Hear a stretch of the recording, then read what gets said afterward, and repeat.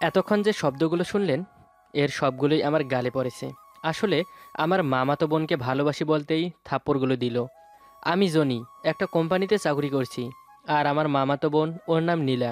ওর মা মারা যাবার পর থেকে মা ওকে এখানে আমাদের বাসায় নিয়ে আসে, দেখতে পুরো তামিল নায়িকাদের মতো। আমার থেকে দু বছরের বড়, নীলাও একটা কোম্পানিতে চাকরি করে, তবে আমার থেকে বড় পোস্টে। এবার গল্পে আসা যাক, আমি তোমাকে ভালোবাসি কতবার বলব আমি তোকে ভালোবাসি না? তোর লজ্জা করে না? আজ এক বছর ধরে জ্বালাচ্ছিস। আমি তোর বড় ভুলে যাস না। ছোট লোক একটা। এই বলে নীলা চলে গেল। নীলার থাপ্পড়ের চোটে ঠোঁট ফেটে রক্ত বের হচ্ছে। রুম থেকে বের হতেই ঠাস ঠাস চোখে অন্ধকার দেখছি। ভালো করে তাকিয়ে দেখি মা। তোর লজ্জা সরম বলতে কিছু নেই? তোর জন্য মেয়েটা না খেয়ে চলে গেছে। এমন কুলাঙ্গার ছেলে কীভাবে আমি জন্ম দিছি? দূর হ আমার সামনে থেকে। আমি আমার অফিসের দিকে চলে গেলাম। চোখের পানি বাদ মানছে না। শেষমেশ চোখের পানি বেরিয়ে গেল। খুব কষ্ট লাগছে মায়ের শেষের কথা শুনে। কুলাঙ্গার হয়ে গেলাম শেষমেশ? হ্যাঁ এটা সত্য যে নীলার পেছনে এক বছর ধরে লেগে আছি, কিন্তু ভালোবাসি আরও আগে থেকে। আমি জানি, ওর কোনো বয়ফ্রেন্ড নেই। আমাকে এক সময় না এক সময় ভালোবাসবেই। তাই পিছু পরে আসি আমি জানতাম না ও আমাকে এত অপছন্দ করে। রোজ একসাথে বের হতাম ঘর থেকে অফিসে যাওয়ার জন্য। আমি আমার বাইক দিয়ে যেতাম। ওকে আমার সাথে যাওয়ার জন্য বলতাম, ও না বলে দিত। আসার সময় ওর অফিস হতে আসতাম। যদিও আমার কষ্ট হতো কোনো দিন আসতো, আবার কোনো দিন আসতো না। ছুটির দিন ওকে নিয়ে ঘুরতে যেতাম। যদিও আমার সাথে প্রথমে যেতে রাজি হতো না, তারপরেও জোর করে নিয়ে যেতাম। এক বছর ধরে ওকে প্রপোজ করেই যাচ্ছি, ও না করে দিচ্ছে। কাল ওকে একটা ছেলের সাথে দেখে আমার হারানোর ভয় হয়। তাই ওকে খুব মিনতি করলাম। আমাকে একটু ভালোবাসার জন্য কিন্তু তা না করে এত সব কাণ্ড করে গেল। অফিসে এসে আমার ডেস্কে বসতেই আনিকা আসলো। আনিকা আমার কলিগ পাশাপাশি কাজ করি। আপনার মন খারাপ কেন? বাসায় কি কিছু হয়েছে? না কিছু না। আমার কাছে কিছু লুকাচ্ছেন? আসলে তেমন কিছু না। না বলতে চাইলে থাক। আনিকা চলে গেল। তার ডেস্কে কোনো রকম কাজ শেষ করে রাতে বাসায় চলে আসলাম। মা এখনও রাগ করে আছে। মা ক্ষুধা লাগছে খাবার দাও। তুই নিয়ে খা। এখনও রেগে আসো আমি সরি আর এমন হবে না। নীলা খেয়েছে? ওকে ডাক দাও। কোন মুখে ডাক দিব? তুই সরি বলে নিয়ে আয়। আমি ওর রুমে গেলাম। ও ল্যাপটপে কাজ করছে। সরি খেতে আসেন। নীলা কোনো কথা বলল না। কাজ করতে লাগল। সরি বললাম তো, আসেন, খেতে আসেন, মা ডাকছে। আমার ডাক শুনে আমার দিকে তাকালো, তারপর আমার পাশ কাটিয়ে চলে গেল খেতে, আমিও চলে গেলাম। নীলা চুপচাপ খেয়ে চলে গেল এখনও আমার ওপর রাগ কমেনি, তারপর থেকে তার সামনে যেতাম না। সকালে তার আগেই বের হয়ে যেতাম, অফিসে যেতেই দেখলাম আনিকা আমাকে দেখে মুখ অন্যদিকে ঘুরিয়ে নিল। মেয়েটা খুব অভিমানী, কালকের জন্য অভিমান করেছে। আনিকা, কেমন আছো? কোনো কথা বলল না। বিকেলে একসাথে কফি শপে গেলে কেমন হয়? সত্যি। হ্যাঁ বিকেলে বের হয়ে একসাথে যাব। ও খুশি হয়ে বলল ঠিক আছে। বিকেল হতেই ও হাজির আমার ডেকছে চলেন। ওকে বাইকে করে নিয়ে কফি শপে ঢুকলাম। কফি শপে বসতেই চোখ গেল অন্য কর্নারে। সেখানে নীলা বসে আছে সাথে বান্ধবীরা। আমি দেখেও না দেখার ভান করলাম। নীলা আপু আমার দিকে বারবার তাকাচ্ছে। আমরা কফি খেয়ে কফি শপ থেকে বের হয়ে আসলাম। আনিকাকে বাসায় দিয়ে আমি আমার বাসায় আসলাম। বাসায় আসতেই নীলা আপু আমার পা থেকে মাথা অবধি তাকালো। আমি পাশ কেটে চলে গেলাম আমার রুমে। আমি যথাসম্ভব এড়িয়ে চলি। তারপর দিন থেকে সকাল সকাল বেরিয়ে পড়ি আর বিকেল আনিকার সাথে আড্ডা দিয়ে বাসায় ফিরি। তার কিছুক্ষণ পর নীলা রুমে ডাক পড়ল, গেলাম সেখানে। আসব? হুম, ভেতরে ঢুকলাম। এই কাজটা করে দে। আমি কিছু না বলে কাজ শুরু করে দিলাম। এত সহজ কাজ এ তো উনি নিজেও পারেন।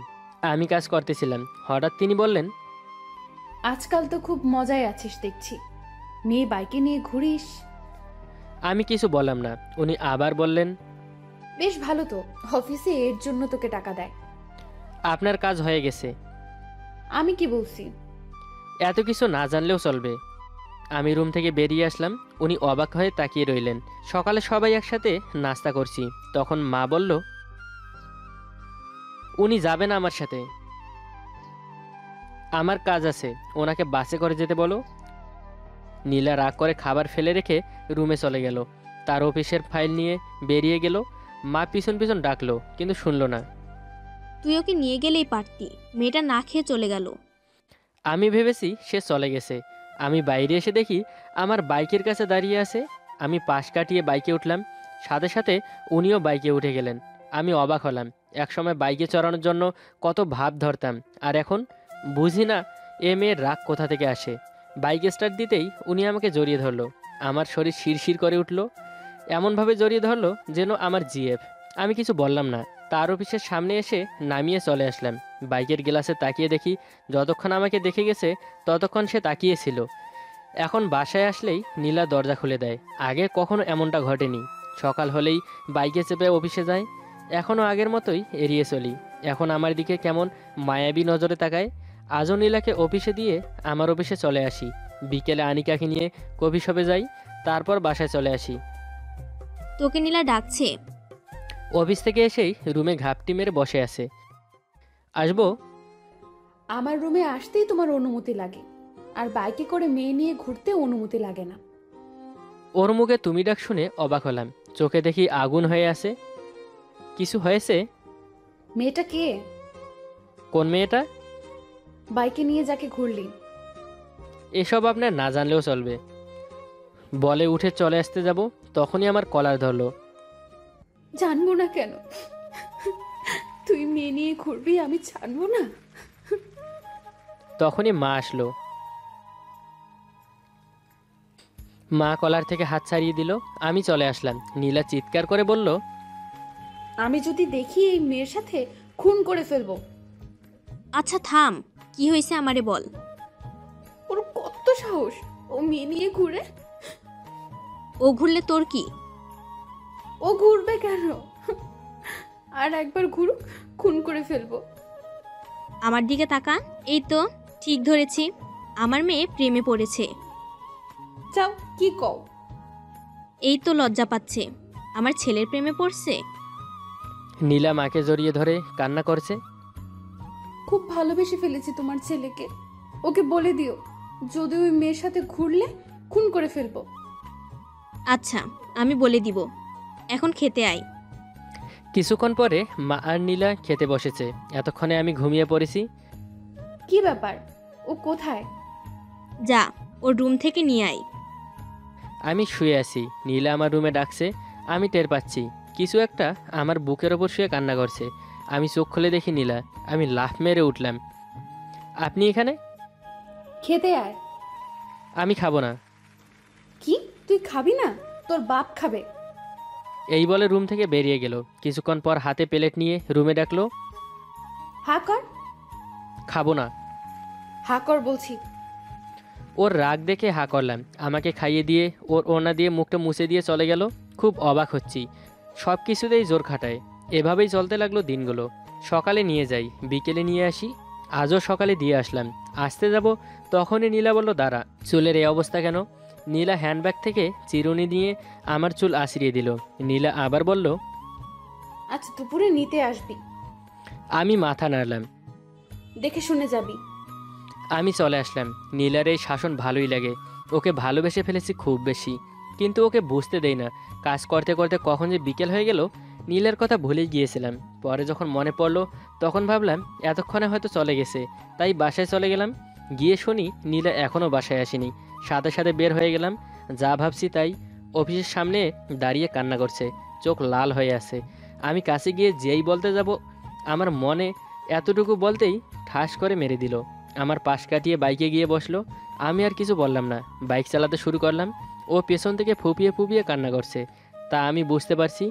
বাসায় আসতেই নীলা চলে গেল। আমিও পিছন পিছন চলে গেলাম। রুমের সামনে গিয়ে বললাম, সরি। ও ধুম করে মুখের ওপর দরজা বন্ধ করে দিল। রাতে মা খেতে বলল, নীলা বলল, তোমার ছেলেকে গিলতে বলো। বুঝলাম, খুব অভিমান করেছে। রাতে আর জোর করে খাওয়ানো গেল না। পরের দিন শুক্রবার ছিল, তাই আর বের হলো না। দশটার দিকে গেলাম ডাক দিতে। এই, দরজা খুলেন না কেন? কি হলো, কথা বলেন? এই যে নীলা আপু। আপু বলার সাথে সাথে তেলে বেগুনে জলে উঠল। আমি খাব না না খেয়ে মরে যাব। তুই যা, তোর তো ভালোই হবে। ওই মেয়েকে নিয়ে ঘুরে যা। আমি ব্যর্থ হয়ে ফিরে আসলাম। তখন মাথায় একটা বুদ্ধি এলো। দেখি কাজ হয় কিনা। এই যে শুনছেন দরজাটা খুলেন। কে এসেছে দেখবেন? কে এসছে? আনিকা। আনিকা কে? ওই যে বাইকে করে যাকে নিয়ে ঘুরি আপনার সাথে দেখা করতে চায় ওই মেয়েটা? ওরে খাইছি। আমার জিনিসে ভাগ বসায়? দরজাটা খুলতেই আমি রুমে ঢুকে যাই। কি? আমাকে ধোকা? বের হ আমার রুম থেকে। বের হ বলছে আর মারছে। আমি ব্যথায় চিৎকার দিচ্ছি। এই আমি ব্যথা পাচ্ছি। মেয়ে নিয়ে ঘোরার সময় মনে থাকে না? এক পর্যায়ে আমি ওকে জড়িয়ে ধরি। নীলাও আমাকে জড়িয়ে ধরে। নীলা কাঁদছে আর বলছে তোকে খুব ভালোবাসি। আমি ওকে শক্ত করে ধরে আমিও বলতে লাগলাম আমিও তোকে খুব ভালোবাসি।